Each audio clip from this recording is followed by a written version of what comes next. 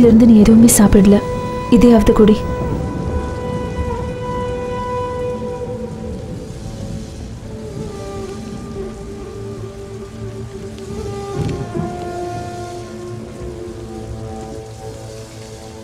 ஆர்த்திங்கிறது யாரு?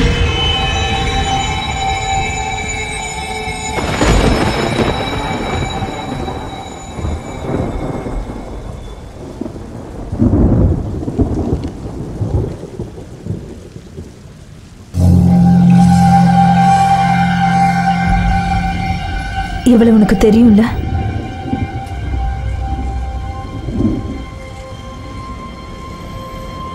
நான் இவளை பற்றி எதுவும் பேச விரும்பல. ஏன் அசோக்?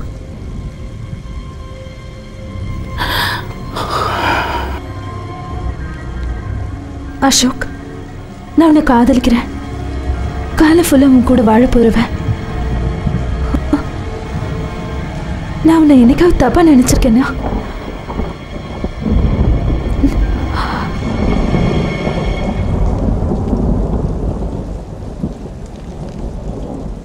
சாரி ஃபார் ஆஸ்கிங்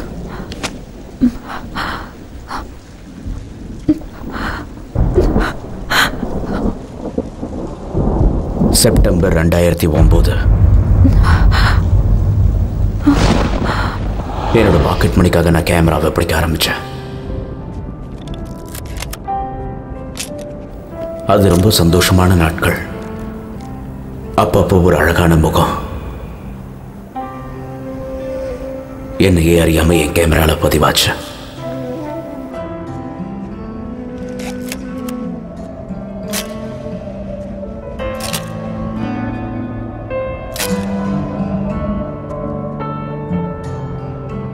அவ பேரு ஆர்த்தி.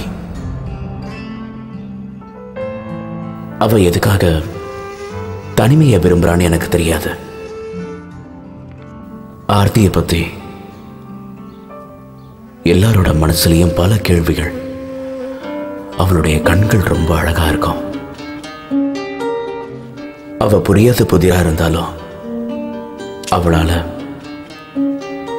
நான் ரொம்ப ஈர்க்கப்பட்டேன். அவள் என் கூட பேச மாட்டாளான்னு ஏங்கி இருக்க அவ வருகைக்காக காத்துக்கிட்டு இருந்தேன்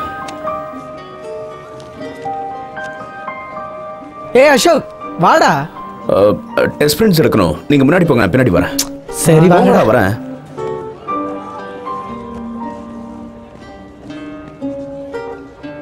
நான் அவளுக்கு தெரியாம அவள் எடுத்த போட்டோஸ்லாம் அவளை சந்திக்க எனக்கு ஒரு சந்தர்ப்பத்தை ஏற்படுத்துச்சு. என் வாழ்க்கையை அவகிட்ட ஒப்படைக்கணும்னு நினைச்சேன்.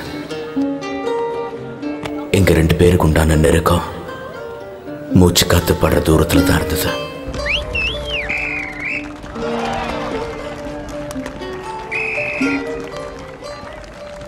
நான் என்னோட ஃப்ரெண்ட்ஸையும் அவாய்ட் பண்ணிட்டேன்.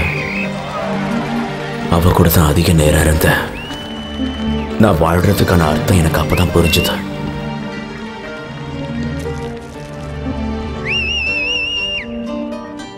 எங்கள் ரெண்டு பேருக்குள்ள நட்பு எப்போ காதலாக மாறிச்சுன்னு எங்களுக்கே தெரியாது.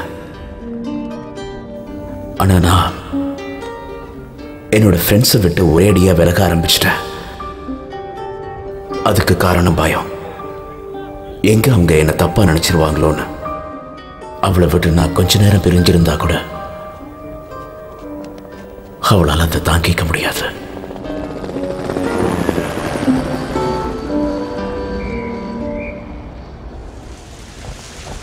எந்த அளவுக்கு நான் அவன் மேல அன்பா இருந்தனோ அதை விட அதிகமாக அவ என் மேல அன்பு கட்டினா. தெரிஞ்சோ தெரியாமலையோ அன்னைக்கு நாங்க ரெண்டு பேரும் எங்களையே அறியாமல் தப்பு பண்ணிட்டோம். காதலை கொச்சப்படுத்திட்டோமோன்னு தோணுச்சு. அந்த சம்பவம் என் மனசாட்சியை உறுத்திக்கிட்டே இருந்தது. நான் அவளை எவ்வளவோ சமாதானப்படுத்தினேன்.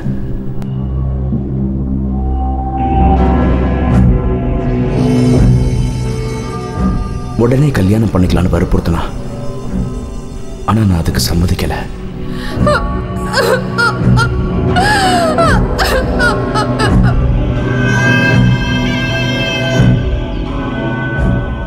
ஃபோட்டோகிராஃபி துறையில் நான் பெரிய ஆளாக வரணுங்கிறது தான் என்னோட ஆசை.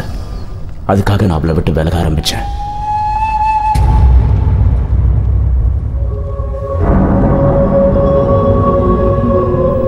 கல்யாணங்கிற வட்டத்தில் சிக்கிட்டா என்னால் எதையுமே சாதிக்க முடியாதுன்னு நினச்சேன்.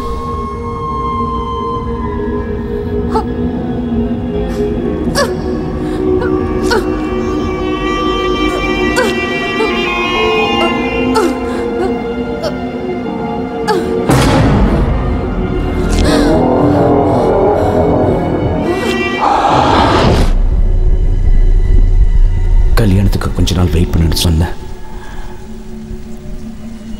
ஆனால் அவ என்ன? கொஞ்சம் கூட புரிஞ்சிக்கவே இல்லை.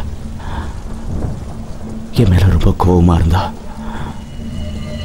அவ என்னை கடைசியை பார்த்து நீ தப்பு பண்ணிட்ட.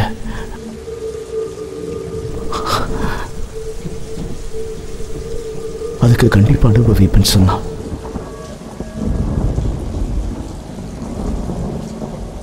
அப்புறம் கொஞ்ச நாள் கழிச்சு காலேஜை விட்டு போயிட்டான்னு சொன்னாங்க. எனக்கு தெரியும் சோனியா. இது எல்லாத்தையுமே உங்ககிட்ட முன்னாடியே சொல்லியிருக்கணும். பட் ரஸ்மை நான் நான் உன்னை ஏமாத்தணும்னு நினைக்கல.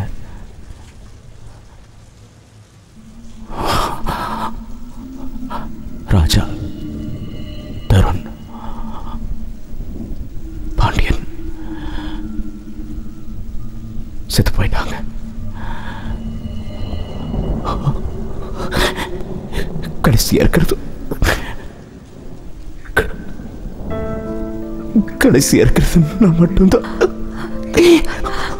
அசோக் அசோக் அசோக் அசோக் உனக்கு ஒன்றும் ஆகாது நான் உனக்கு ஒன்றும் ஆக விட மாட்டேன்.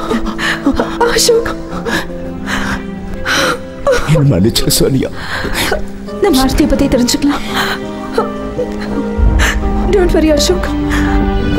உனக்கு ஒன்றும் ஆகாது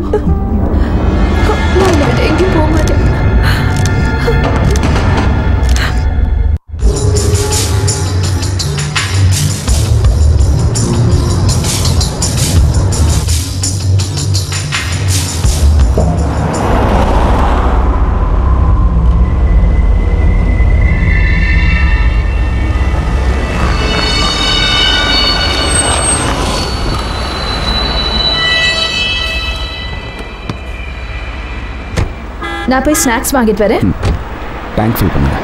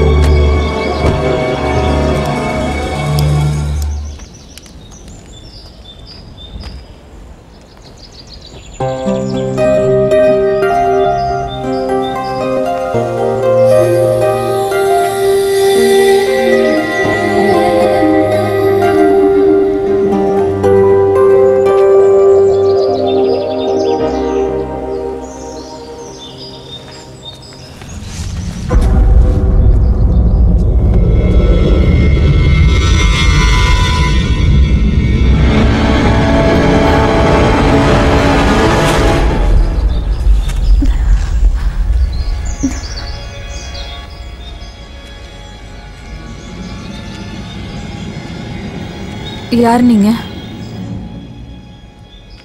இது ஆர்த்தி வீடு தானே? ஆமாம் நான் தான் ஆர்த்தியோட அம்மா. ஏ? வணக்கம். வணக்கம் ஆண்டி. நாங்கள் சென்னையிலேருந்து வரோம். ஆர்த்தியை பார்க்கணும். அவளை பார்க்க முடியாது. அவளுக்கு உடம்பு சரியில்லை. மேலே தூங்குறா. நீங்கள் இன்னொரு நாளைக்கு வாங்க. ப்ளீஸ் ஒரு தடவை. முடியாது. ப்ளீஸ் ஆ, ஆண்டி ப்ளீஸ் முடியாது. இன்னொரு நாளைக்கு வாங்க. போயிடுங்க. ப்ளீஸ் போயிடுங்க.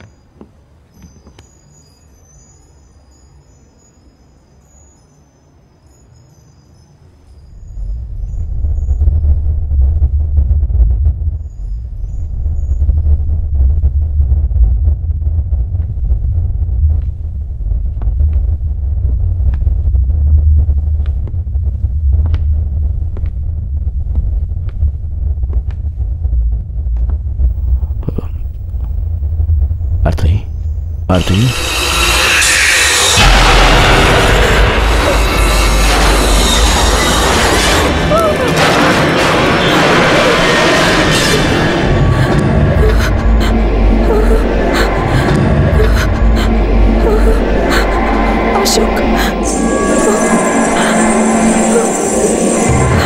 இங்க என்ன பண்ணிட்டு இருக்கீங்க?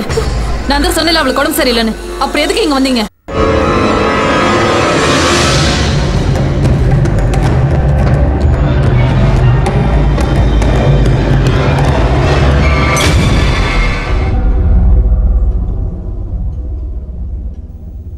அவள் காலேஜிலிருந்து வந்தப்ப எதையோ பறி கொடுத்த மாதிரி இருந்தா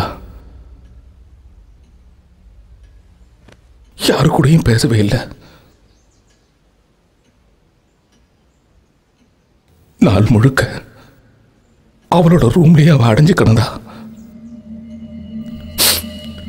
அவளுக்கு என்னாச்சுன்னு எங்களுக்கு ஒன்றும் புரியல. அவன் எப்போ கதவை திறப்பான்னு? நாங்கள் ரொம்ப நேரமா காத்துக்கிட்டே இருந்தோம். ஒரு நாள் கூட அப்படி இருந்ததே கிடையாது. எங்களுக்கு பயமா இருந்தது.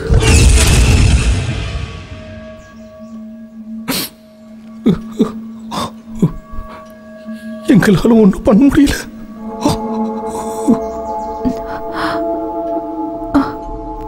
இன்னும் ஏன் அந்த பாடியை வச்சிருக்கீங்க? என் மகளோட இறப்பு என் மனைவியால் தாங்கிக்கவே முடியல அது அவள் நம்பவும் இல்லை அவள் தூங்கிட்டு இருக்கான்னு தான் என் மனைவி நினச்சிக்கிட்டு இருக்கா அவளுக்கு இதை எப்படி புரிய வைக்கிறதுனே தெரியல அவளோட நம்பிக்கைக்காக நானும் அதை அப்படியே விட்டுட்டேன்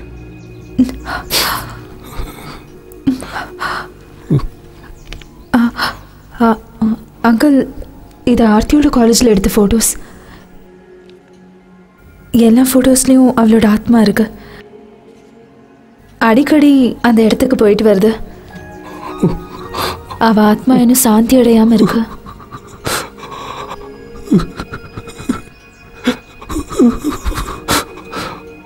அதுக்கு வழி தெரியாம தான் நானும் தவிச்சுக்கிட்டு இருக்கேன்.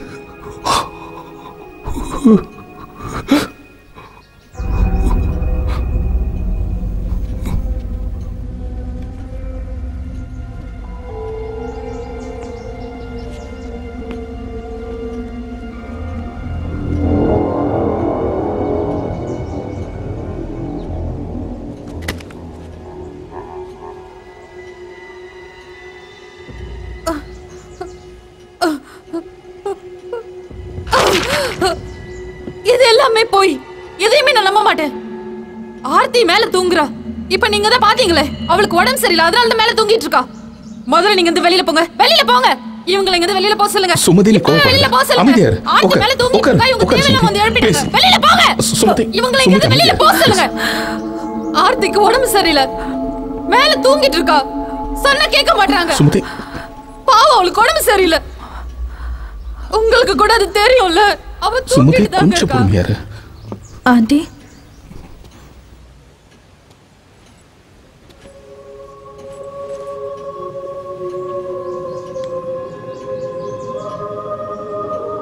ஆண்டி நானும் உங்க பொண்ணு மாதிரி தான் ஆர்த்தியோட ஆத்மாக்கு விமோச்சனை கொடுங்க.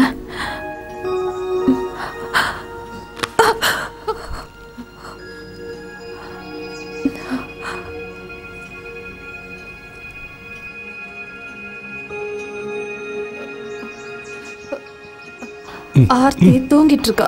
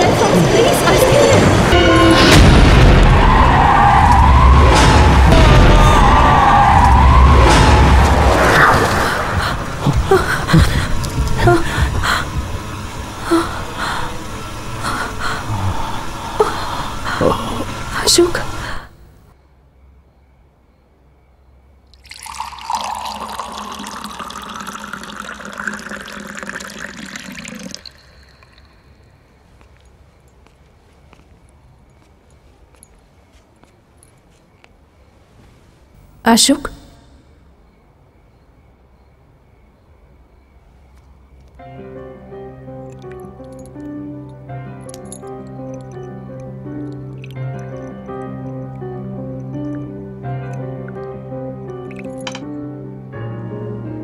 திடீர்னு உனக்கு என்னாச்சு அசோக்? ஏன் வண்டி அவ்வளோ வேகமாக ஓட்டின? அது அது தான் சொன்னியா? ஆக்சிடென்ட் உண்மை இல்லை. அவ- அவ எனக்காக தான் அன்னைக்கு ராத்திரி இங்க வந்தா. என்ன தேடி தான் வந்தா. Do you love me Sonia of course I do Ashok நீ நீ என்னை விட்டுட்டு போயிட மாட்டியே? Ashok Really love you, Sonia. Ashok ஏன் இப்படி பேசுற I love you, Sonia. Ashok என்னை விட்டுட்டு போயிட மாட்டேன் நான் உன்னை விட்டு எப்பவும் பிரிய மாட்டேன் I love you, Sonia.